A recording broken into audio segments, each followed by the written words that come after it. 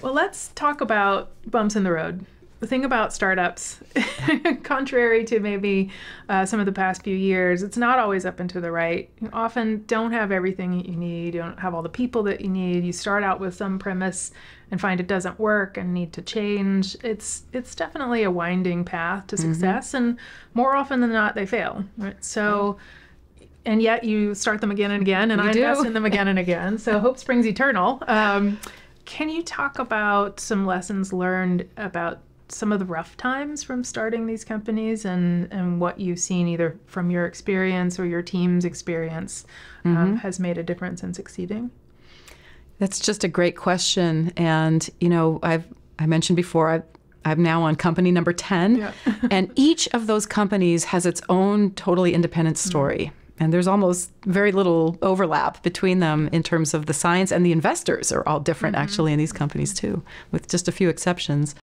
Um, and and you're right. You know, when you start a company, you're full of enthusiasm. You have what you think is the best idea yeah. you've ever had. You know, and your students are ready to go sometimes, and and inevitably, you know, not everything works out exactly as you, as you plan, and you have to make adjustments along the way. Sometimes you have to reorganize your priorities. Mm. And I think the companies that are able to weather the inevitable storms, and some of those storms are technology or science mm-hmm. storms, others are funding climate storms. Yeah. Um, at the end of the day, you need to have great people. Mm-hmm. So the team that launches the company, the leadership level, they have to be smart and creative and dedicated with a positive attitude and they have to have the highest level of standards for the science and the scholarship mm-hmm. and at the same time they have to be ready to adapt mm-hmm. and and change their thinking and you, so you have to have great people and great science and then you need great investors mm-hmm. that hopefully can hang with you. and it's hard because, yeah. you know, you're you have obligations to the people that invest in your funds and you have to deliver returns to them. So you have your own difficult decisions to mm. make. Um, but, you know, when things when I feel the magic is when I have an investment team that is has conviction mm-hmm. and really believes that we can make a difference with the company and is willing to kind of hang in there with us even when things don't always go according to plan. So you have to tack and jive and so on in the, in the sailing parlance. Yeah. Um, but but when you have that, I mean, I've often I've often told my students, especially the ones that are working now in companies with me, when they have their moments of frustration, and for them it's like the first big right. obstacle they've yeah. had to deal with in their life because they're young. I tell them that you know successful entrepreneurship in many ways is a war of attrition. Mm-hmm. And I, in my mind's eye, I picture company founders hanging on the rock wall and one by one the rocks are falling out and their fingers you know they're down to their last pinky right.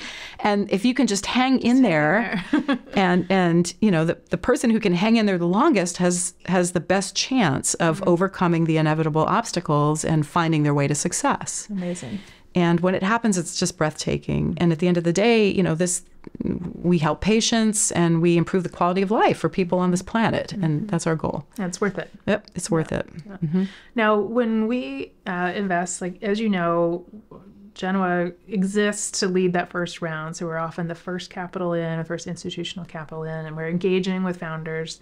And we know that uh, we, we know that it's going to get rough. So we talk about that. We also know that uh, it, it's almost never the founding CEO who is the CEO takes the company public, mm-hmm. right, or sells the company. It's just a very mm-hmm. different skill set to be that visionary at the very beginning, who, without any resources and without even an office, recruits Carolyn Bertozzi yeah. and mm-hmm. and investors and you know, to get going on the journey and kind of pointing at that goal. Right. That's usually a very different skill set than the person who when there's 100 employees needs to then mm-hmm. think about growth strategy and um, think about uh, uh, pitching to the next round of investors mm-hmm. so how have you um, worked with uh, particularly when your founders are your students or postdocs right how have you seen them go through that evolution and maybe hand off the company to the, the baton to the next leader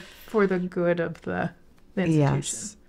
Well, I'm again thinking through my companies, and I have had students who would help launch the company mm-hmm. as a co founding scientist and maybe a chief scientific officer, not as a CEO. Right. And in every case, I don't think I'm missing any of them. Uh, we knew immediately that we needed someone with business acumen um, and especially to launch the company from zero, which includes fundraising, Series A, Series B, you know, we needed uh, somebody who had that skill set. Mm-hmm. And the scientists, certainly a young scientist who just finished their PhD, does not have that skill set right. yet. So um, I've been very fortunate to have recruited some great CEOs some of them was a hard target search. Others kind of fell into my lap, you know, and and in a couple of cases, like with Aldo, yeah. um, I had an, an, entrepreneur in residence or an aspiring entrepreneur just cold call me yeah. with, you know, because they someone suggested that I might have a technology that is science. the right one. Yeah. Mm-hmm. So so I've just been very fortunate in terms of um, having CEOs come into my companies and do great jobs. Mm-hmm. And you're right, in, in several circumstances, the CEO that we launched the company with um, transitioned out okay. as the company grew or underwent like a big business transaction. Right. And and they were all, you know, very you know healthy in their attitude about that process. So it's a really natural um, natural way of thinking. Very natural, and and same with the the student who's the chief scientific officer. That's that's a fine role mm-hmm. for a young recent PhD when there's three or four people to manage. Yeah. When companies grow and you need to have a much more sophisticated organization, um, sometimes the chief scientific officer on day one is not the right person uh, on year five, right? right. And so, yeah. um, and and most of the time, scientists understand when the company needs something different from mm-hmm. themselves, mm-hmm. and they're very gracious about it. So. Uh, but and, and these are conversations that are difficult, and you have to have them. Yeah. And I have had CEOs of my company, not many, uh, one in particular that I can remember, actually give me the lecture about how now it's time for you to, to step back, you know, and, and let the company, you know, take its own path and so on. And, and I hear that, yeah. you know. So I, I, think I'm a pretty light touch, you know, ter- in terms of academic founders. But um, true, yeah. but you know, it's it's certainly reasonable for someone to have a conversation with me. That's hard right. for me to hear. A lot of what you're pointing to here is this sort of interpersonal dynamics, emotional awareness and maturity, teamwork that frankly is not really part of the traditional academic scientist training in my experience. Hmm. Mm-hmm. So, uh, do you think so? Yeah. no, the the training of being that that kind of star individual performer yeah. um, mm-hmm. is is very different from knowing what you're great at, what you're not at, and mm-hmm. and uh, wanting to work in a team to get to a bigger outcome than maybe one could get to oneself. Yeah. I, you could even go so far as to say that the typical academically tracked scientist is yeah. trained not to not be a to. good leader. Yeah. um, you're right, that's true. And I think uh, nothing can kill a fledgling company more mm-hmm. than bloated egos. Mm-hmm. Uh, you don't want them on your leadership team, you don't want them in the trenches, and you don't want them on your board mm-hmm. either. Mm-hmm. Uh, you're right. You want people who are good listeners, who can understand the room and read the room, and who know how to motivate people to function as a team. Mm-hmm. And it's interesting that, um, that many academics are not trained with that sensibility. But the funny thing is, if they were, I think they'd be even more successful. They'd be so good. Yeah, right. they'd be even better. We would do even better academic science. Yeah. We're pretty good now. Yeah. We could be better. Even more powerful. Mm-hmm. Yeah.